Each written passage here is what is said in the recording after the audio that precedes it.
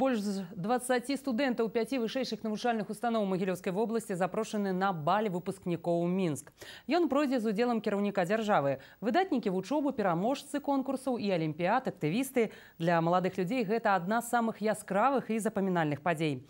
Нашы карэспандэнты пагутарылі з выпускнікамі перад іх ад'ездам у сталіцу Беларусі. Едем на президентский бал только с позитивом и везем с собой позитив. А, естественно, хотим а, получить только положительные эмоции, и, скорее всего, мы их и получим. А что нужно, чтобы попасть на этот бал? Ну, я президентский стипендиат и буду получать красный диплом. У меня свой собственный проект «Электронная газета «Наша версия», которая в международном конкурсе студенческих изданий стала лучше э, не только в Беларуси, но и среди газет России и Украины. Более пяти десятков э, научных публикаций, как-никак, вот за период обучения в университете.